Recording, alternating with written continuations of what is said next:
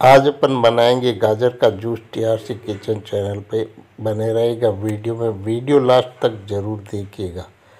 चलिए बनाना शुरू करते हैं गाजर का जूस। गाजर का जूस बनाने के लिए मैंने आधा किलो गाजर ली है। अभी इस गाजर को कटिंग कर लेंगे। इसको बारीक बारीक नहीं, ज़्यादा मोटा, ज़्यादा ना छोटा कटिंग बीच की मीडियम साइज़ का कटिंग कर लेना है मिक्सी के जार में।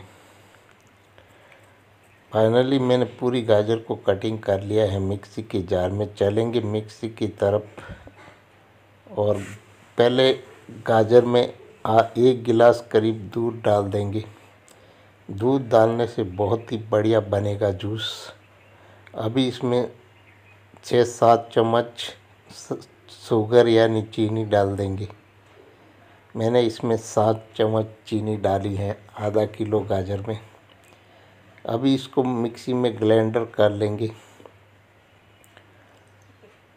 मैंने इसको मिक्सी में अच्छी तरह से ग्राइंडर कर लिया है। अभी इस जूस को एक भगोली में ले लेंगे। अभी इस जूस को छान लेना है। फाइनली मैंने जूस अभी छान के रेडी कर लिया है। अभी ये गिलास में डालेंगे। फाइनली जूस पीने के लिए रेडी हैं।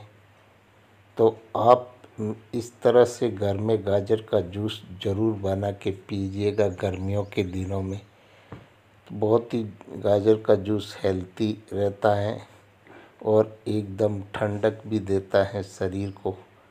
तो आप गर्मियों में ज़रूर ये जूस बनाइएगा। बहुत ही स्वादिष्ट रहता है गाजर का जूस।